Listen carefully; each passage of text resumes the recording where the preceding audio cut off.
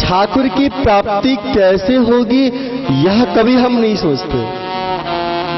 ठाकुर से कैसे प्राप्ति होगी, यह हमारा विषय रहता है। कि महाराज, ठाकुर से कुछ कैसे मिलेगा? ठाकुर जी कुछ दे तो कोई बात, नहीं तो महाराज ठाकुर जी देखते भी नहीं। कभी सोचा है आपने? ठाकुर जी, कितना कुछ करते हैं हमारे लिए। कभी आपने नहीं सोचा होगा। मैं आज आपको बता देता हूँ। हम लोग कृतज्ञ हो गए हैं। मतलबी हो गए हैं।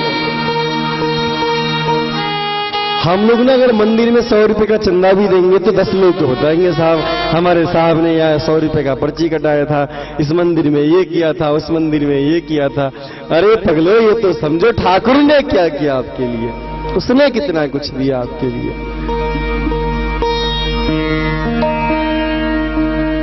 आप एक बीज को खेत में छोड़ के आते हैं।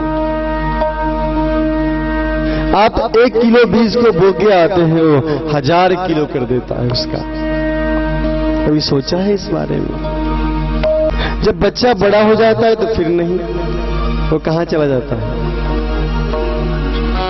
कोई वैज्ञानिक ये सिद्ध नहीं कर सकता कि बच्चा बड़ा होगा तब भी कुछ ऐसा हो सकता है।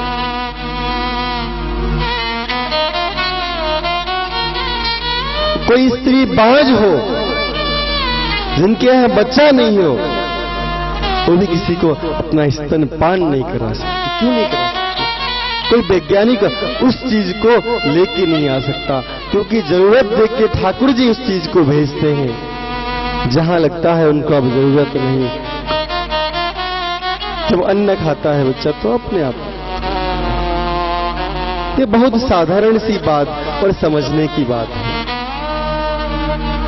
इस जीवन में। हम सब जानते हैं देह पत्य कलत्रादि, स्वात्म सैन्यु सत्सपि तेषाम प्रवत्व निधनम पश्चन नपि अपश्यति। ये शरीर पाँच भौतिक तत्वों से बना है, इसको मिटना है, कौन नहीं जानता। सब जानते हैं। पर क्या करें? शमशान गए और लौट के आए। एक बाल्टी कहा, जरा देवी जी, पानी लगाओ बाल्टी में। जैसे एक बाल्टी पानी से नहाया, बस वो सब भूल जाते हैं।